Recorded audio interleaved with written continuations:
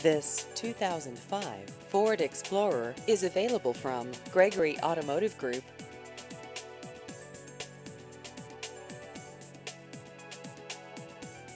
This vehicle has just over 164,000 miles.